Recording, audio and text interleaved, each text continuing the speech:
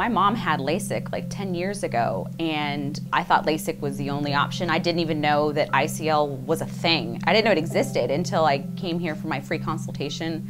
Dr. Parkhurst was like, not a lot of people know, but this has been around the same amount of time. And I was just amazed because my eyesight's been so bad for so long. That was the excuse was, oh, my eyesight's so bad, I don't think LASIK can work for me. But this is this is something completely different and it does work. It's amazing. I've got 20/20 in one eye and better than 20/20 in another eye. That hasn't been the case since third grade.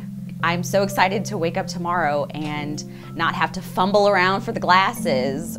Every single person I've met here is a total professional. Everyone compliments the other. I mean, er, I've been in maybe 10 different rooms since I started this procedure and all of the plaques on the walls and all of the certificates.